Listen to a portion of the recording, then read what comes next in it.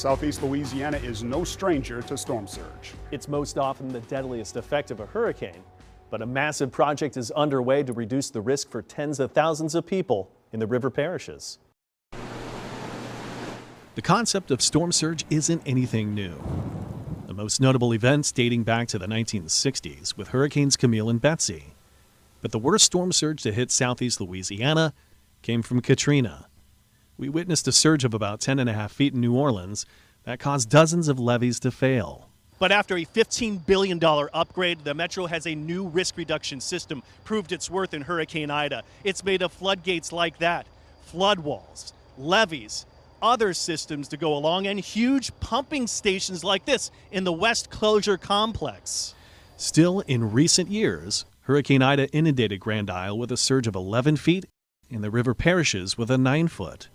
But help is on the way with the West Shore Lake Pontchartrain Risk Reduction Project. This whole system is going to be a combination of levees, flood walls, uh, and pump stations to help reduce risk for the residents of St. John, St. James, and St. Charles parishes. It's an 18 mile project that starts just west of the Bonnet Carré Spillway and ends over in Garyville.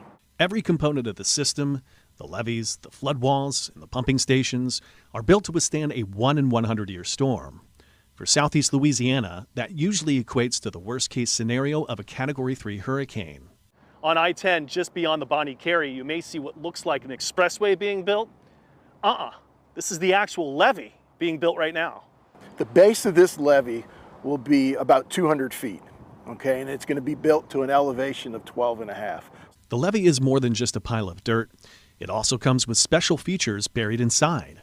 Features that will act like the wick of a candle, sucking up the water from its base and delivering it through horizontal drainage strips, which empties into the drainage canal. This will allow for proper compaction and settling of the levee as it's being built. So, how did we get here? So, this is a multi billion dollar, about $3 billion project, and it wouldn't be possible without the help from the federal all the way down to the local level. It's not just one entity doing this thing, it is a true partnership. Another highlight of the project it will employ hundreds of people directly or indirectly, pumping in millions of dollars to the local economy.